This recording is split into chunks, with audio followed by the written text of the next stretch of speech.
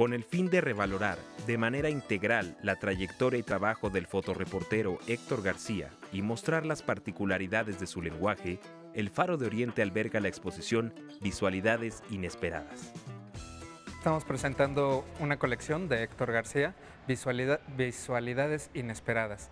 Es una curaduría de Eugenia Macías y pues es una selección muy interesante porque nos está mostrando un panorama en el cual podemos ver gran parte, si no es que toda la trayectoria del maestro Héctor García.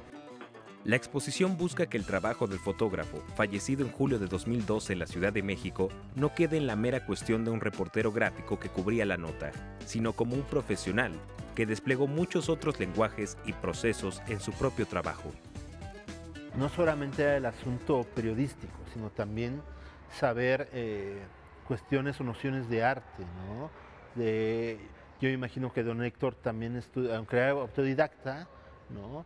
en algún momento también revisó a pintores clásicos, ¿no? este, que en, su obra vemos mucha plasticidad, eh, mucha composición, este, mucha luz, muchos elementos que en la pintura se llevan a cabo y que con la fotografía vinieron a ser muchísimo más instantáneos, pero que si no tienes un ojo, no tienes toda una experiencia atrás eh, vivida, difícilmente lo podrás realizar. Y esta obra de Don Héctor, pues no solamente es el registro fotográfico, también es una cuestión artística, de una gran calidad, por eso es uno de los fotógrafos más importantes de este país.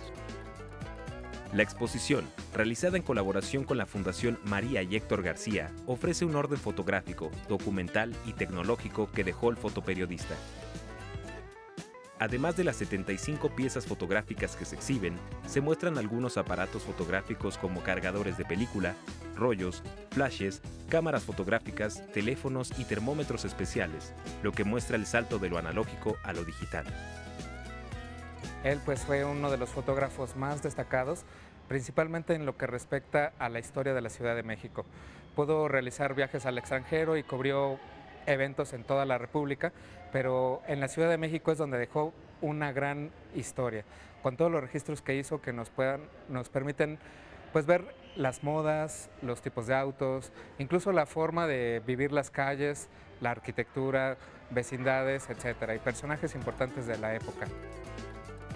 Con información de Salvador Perches Galván, Noticias 22.